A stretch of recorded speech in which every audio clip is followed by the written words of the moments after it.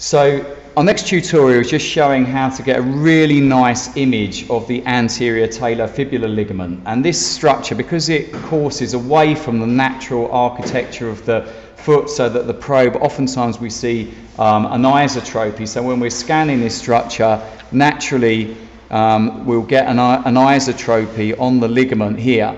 Okay, so we want to show you a technique for taking this structure more parallel with the probe so that we can see it in a bit more detail. So for this technique, we just place an extra bit of gel over the area and then we can scan the ATFL with a bit of additional gel standoff and now we have the anterior talofibular ligament exactly parallel to the, to the, to the probe and therefore we can see this ligament in a lot more detail. We um, get rid of the anisotropy, and again we can stress this ligament both with plantarflexion and eversion of the foot to check its integrity and check the stability here.